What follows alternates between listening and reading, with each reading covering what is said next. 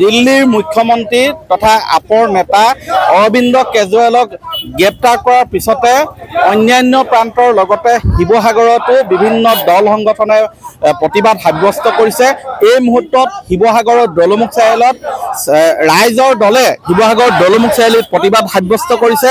এই গ্ৰেপ্তাৰৰ বিৰুদ্ধে শীঘ্ৰেই অৰবিন্দ কেজৰিৱালক মুক্তিৰ দাবী জনাই এই ধৰণে ইয়াত ধৰ্ণা ধৰ্ণা দিছে।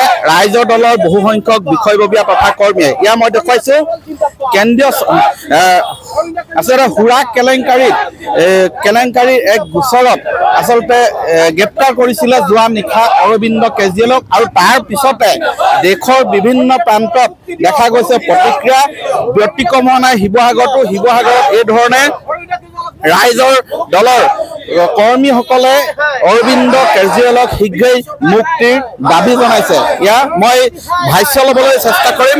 ৰাইজৰ দলৰ শিৱসাগৰ সমষ্টিৰ সভাপতি জিতু জ্যোতি গায়ন আছে।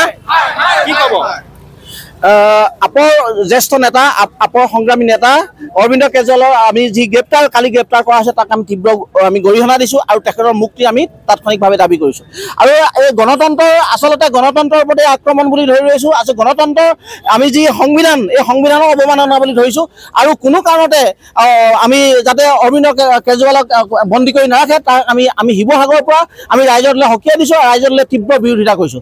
আৰু অৰবিন্দ কেজৰিৱালৰ দৰে নেতা আচলতে আহ, যিটো যেনেধৰণে গ্ৰেপ্তাৰ কৰা হৈছে ইয়াৰ যি গণতন্ত্ৰৰ ওপৰত আক্ৰমণ সংবিধানৰ ওপৰত আক্ৰমণ বুলি আমি ধৰিছোঁ। আৰু এই বিজেপি ফেচিষ্ট চৰকাৰখনক আমি ইয়াৰ পৰা সকীয়াই দিব খুজিছোঁ যাতে তেখেতসকলে এই যে হঠকাৰী আৰু এনেকুৱা নিন্দনীয় যাতে কাম কাজৰ পৰা তেখেতলোকে আঁতৰি থাকে আৰু ইয়াৰ যদিহে তেখেতলোকে নিজকে সংশোধন নকৰে আৰু এনেকুৱা ধৰণৰ অগণতান্ত্ৰিক কাম কাজৰ পৰা যদি আঁতৰি নাথাকে আমি ভৱিষ্যতৰ দিনত ইয়াতকৈ আমি জংগী আন্দোলন গঢ়ি তুলিম। লোকসভা নিৰ্বাচন আহি আছে তাৰ প্ৰক্ষণত এ, প্ৰাকক্ষণত এই ধৰণে গ্ৰেপ্তাৰ কৰা কাৰ্য কিবা প্ৰভাৱ পেলাব নেকি? নিঃসন্দেহে প্ৰভাৱ পেলাব এই এই এই যি গ্ৰেপ্তাৰ অৰবিন্দ কেজৰিৱালক যি গ্ৰেপ্তাৰ ভাৰতবৰ্ষৰ সকলো স্তৰৰ ৰাজ্যে দেখিছে যে কেনেকুৱা ধৰণে ফেচিষ্ট ধৰণে এ, এটা চৰিত্ৰ তেখেতসকলে বিজেপি চৰকাৰখনে দাঙি ধৰিছে। আৰু এই আহিবলগীয়া যি লোকসভা নিৰ্বাচন ইয়াৰ প্ৰতিফল বিজেপি চৰকাৰে পাব আৰু সৰ্বস্তৰ ৰাইজে ইয়াৰ প্ৰতিশোধ ল'বৰ কাৰণে এই বিজেপি চৰকাৰখনক উফৰাবৰ কাৰণে আচলতে যে ৰৈ আছে এই- যে লোকসভা নিৰ্বাচনত ইয়াৰ সম্পূৰ্ণ প্ৰতিফল পাব ই নিশ্চিত। এয়া মই দেখুৱাইছো শিৱসাগৰ ৰাইজৰ দলৰ জিলা সভাপতি আছে কি ক'ব? এই দেশত যে চলি আছে চলিছে ই এটা আকৌ এবাৰ প্ৰমাণ কৰি দিলে বিজেপি চৰকাৰে।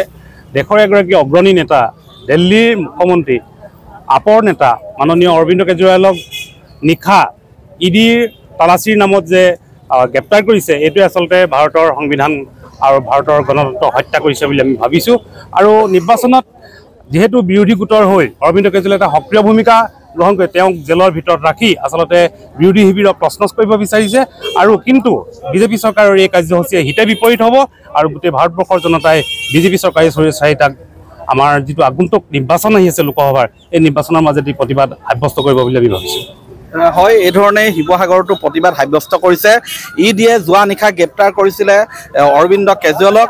ই দিয়ে নবাৰকৈ চমন জাৰি কৰিছিলে অৰবিন্দ কেজৰিৱালক হাজিৰ হ'বলৈ কিন্তু এ, প্ৰতিবাৰে আওকাণ কৰি আহিছিলে অৰবিন্দ কেজৰিৱালে। কিন্তু তাৰ পিছতে যোৱা নিশা দেখা গ'ল যে আপৰ নেতাগৰাকীক যোৱা নিশা গ্ৰেপ্তাৰ কৰে আৰু তাৰ পিছতে এনেধৰণে দেশৰ অন্যান্য প্ৰান্তৰ লগতে শিৱসাগৰতো দেখা গৈছে প্ৰতিবাদ।